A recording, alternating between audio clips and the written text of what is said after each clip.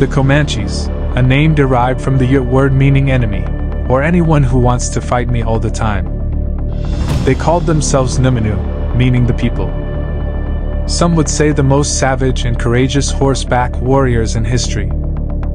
Engaging in warfare against other native tribes, including the famous Apaches, Osage, and Pawnee, they also fought against European American settlers, Mexicans, and the United States government. The image of Plains Native Americans on horseback has become iconic in modern times. Quanah Parker, who led the Comanches from the late 1800s to his passing in 1911. The fierce leader led Comanche assaults against American communities and troops, opposing American expansion into Comanche territory for centuries. Horseback, or Tehuyaquahipo, a Comanche chief who lived during the mid 19th century, when the Comanche people were frequently at odds with European settlers and the United States government. He fought back ferociously and committed to safeguarding his people's way of life from intrusion.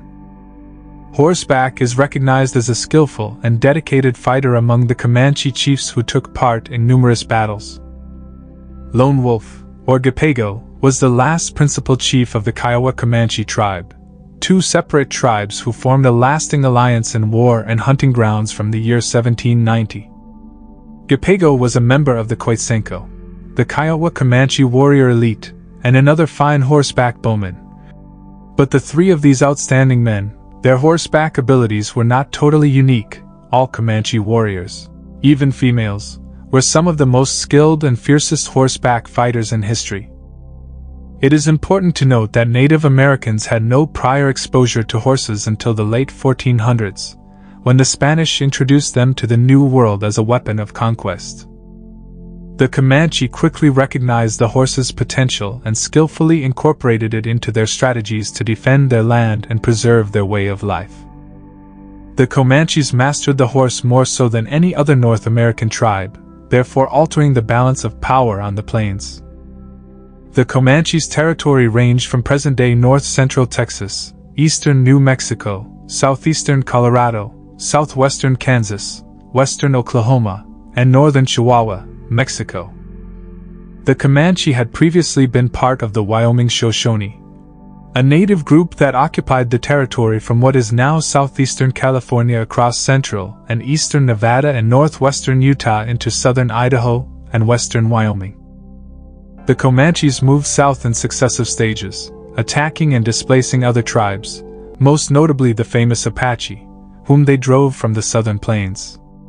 Yes, it wasn't just American settlers they fought against. The Comanches engaged in wars against fellow native tribes and anyone they could for land, for resources, for cultural reasons, for slaves.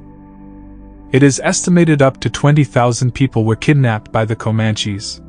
For both white settlers and other native tribes, if you were unlucky enough to be caught as an adult male by the Comanches, you were tortured and killed, quickly, or slowly depending on what time they had. Scalp removal was a common practice if caught by the Comanches. Babies were also extinguished as they had not the time nor personnel to look after them. Teenagers or young women were more lucky, they would likely be made to be a slave. The most likely to be caught, and then adopted into the Comanche family were both boys and girls between the ages of about 8 to 13, as the Comanches had trouble keeping their numbers up. So they would take these captives and raise them as one of their own. And this was not just for the white American, this was a rule for all native tribes, against other native tribes. In fact, the mother of Quanah Parker, mentioned at the start of the video, was Cynthia Ann Parker, a white American settler born in Texas, who was kidnapped by the Comanches at around the age of nine during a raid in 1836, and became fully assimilated into the Comanche family. In December 1860, after years of Texas Rangers searching for Cynthia, they caught a fleeing woman who, in broken English, identified herself and her family's name. And she was taken back to the white American community where she was born. However, Parker never adjusted to her new surroundings. She missed her sons and the Comanche way of life, so she began refusing food and water and passed away in March 1871. By the early 1800s, the Comanche were very powerful, with a population estimated from 7,000 to as many as 30,000 individuals. Like most other Indian tribes, they were a nomadic group who were organized into autonomous bands, local groups formed on the basis of kinship and other social relationships. Buffalo products formed the core of the Comanche economy and included robes, teepee covers, sinew thread, water carriers made of the animal's stomach, and a wide variety of other goods. They also hunted buffalo as a main source of food, utilizing their lifelong training on horseback to full effect. In the 18th and 19th century, as American settlers expanded westward, they encroached upon traditional Comanche territories.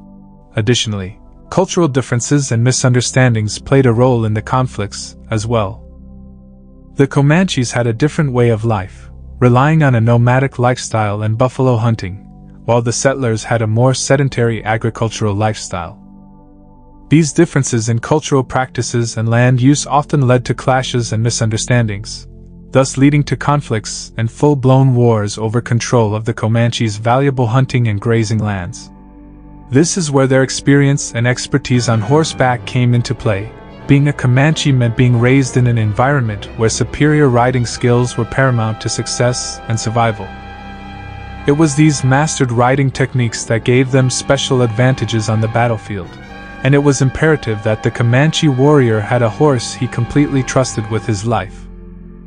Riders and their mounts became so familiar with each other that, to the outside observer, it almost appeared that they operated as one entity.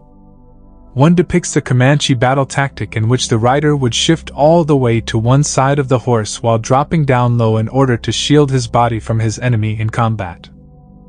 The rider would discharge his weapon under the horse's neck toward the enemy while in full gallop. A man named Talkwaker stated this in an interview in 1924.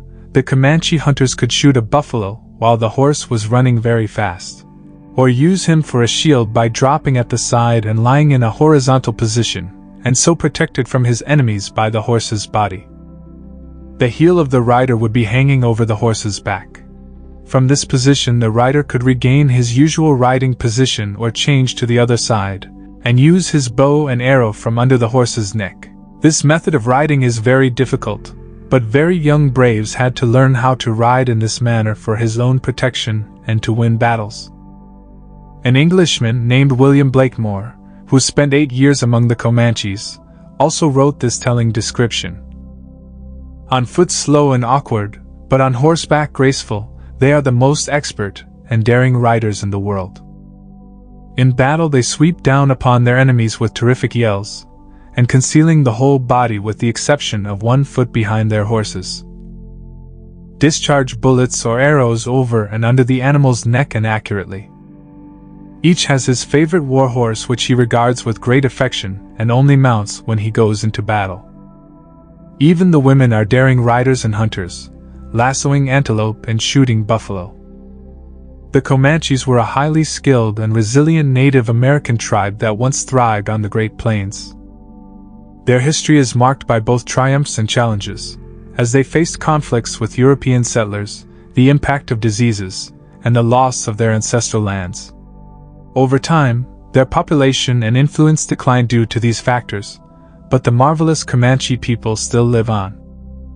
Today, the Comanche Nation is a federally recognized tribe that has 17,000 members, around 7,000 of whom reside in tribal jurisdictional areas around Lawton, Fort Sill, and the surrounding areas of southwestern Oklahoma. The Comanche have their homecoming annual celebration in mid July in Walters, Oklahoma. These celebrations include powwow, which is Comanche style dancing and singing, music, bull riding, native arts and crafts, and a carnival. It is a wonderful opportunity for the indigenous Comanche people to socialize, dance, sing, and honor their extraordinary culture.